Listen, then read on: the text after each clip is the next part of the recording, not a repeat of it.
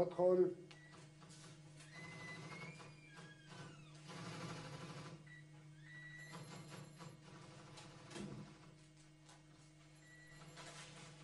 السلام عليكم. وعليكم السلام ورحمة الله وبركاته.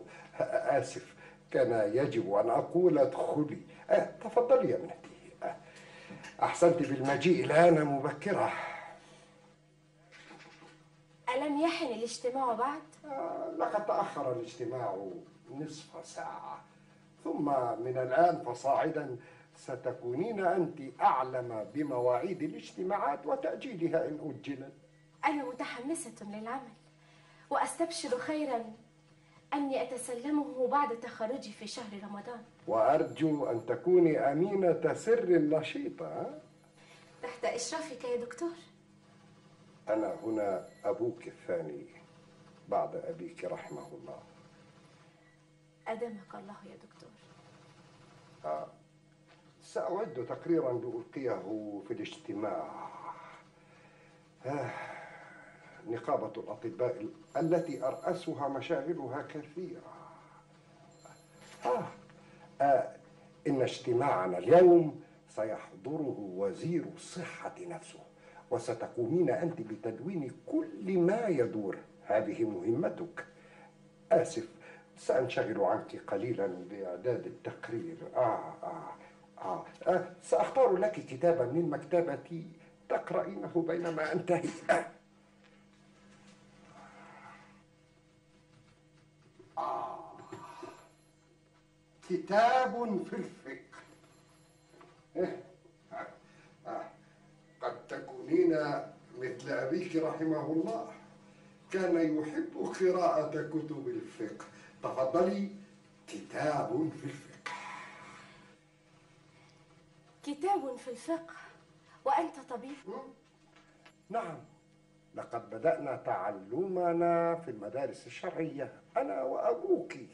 ثم إن طلب العلم فريضة. أما الطب فكما تعلمين فهي مهنة.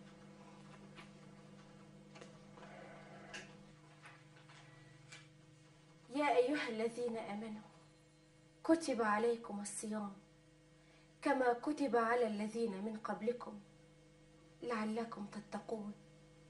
أياما معدودات. سأقرأ هذا. آه آه آه آه. هذا فصل دقيق.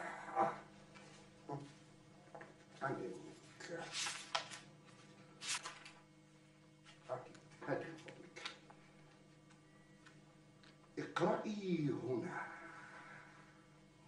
وسترين شيئا جديدا. جديدا؟ نعم. كما كتب على الذين من قبلكم. سترين أن المفسرين إزاء هذه الآية قسمان. قسم يرى أن الصوم كان مفروضا على الأمم قبلنا جميعا. وقسم يرى أن الصوم كان مفروضا على اليهود والنصارى فقط. بحث دقيق فعلا. والأدق هل كان مجرد الصوم مفروضا أم إن رمضان على التخصيص هو المفروض؟ قولان للعلماء أيضا. سأقرأ إذن شيئا لطيفا. آه، سترين.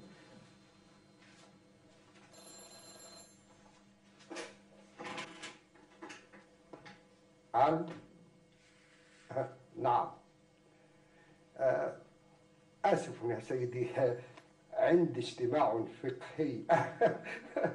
يعني أقصد عندي اجتماع طبي؟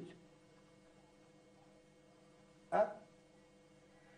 م- نعم. بعد الظهر. حاضر. مع السلامة. سترين أن رسول الله صلى الله عليه وسلم عندما قدم المدينة كان يصوم كل شهر ثلاثة أيام. ثم فرض رمضان. ومن الله علينا تبارك وتعالى فقال أياما معدودة أي قليلة معروفة محددة في شهر معروف. آه، لا صيام ثلاثة أيام فيكون المجموع ستة وثلاثين يوما موزعة على مدار السنة. آه، ولا تحديد ولا تخصيص. الحمد لله. آه ثم ها الإمساك في تلك الأيام كان صعبا جدا. حقا؟ نعم كان الإمساك هكذا.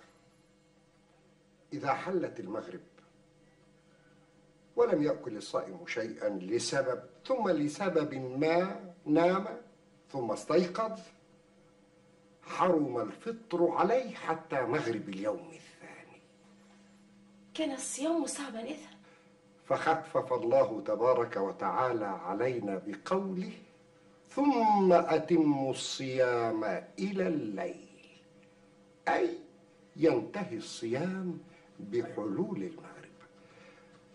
وقبلها قوله تبارك وتعالى وكلوا واشربوا حتى يتبين لكم الخيط الأبيض من الخيط الأسود من الفجر أي أباح الأكل طول الليل مع نوم وغيره ما أعظم منة الله. وكان الصائم في تلك الأيام تحل له النساء إذا ما نام بعد المغرب ثم استيقظ حتى مغرب اليوم الثاني. ولكن الله تبارك وتعالى خفف عنا بقوله أحل لكم ليلة الصيام الرفث إلى نسائكم. ها. ستقرأين هذا ولا حياء في الدين. ولولا انشغالي بالتقرير لحدثتك كثيرا عن يظهر أن الموعد قد حان وربما قد حضر الوزير والأطباء ولم أنهي التقرير. لا بأس. سأرتجله وأمري إلى الله. هات أوراقك واتبعيني.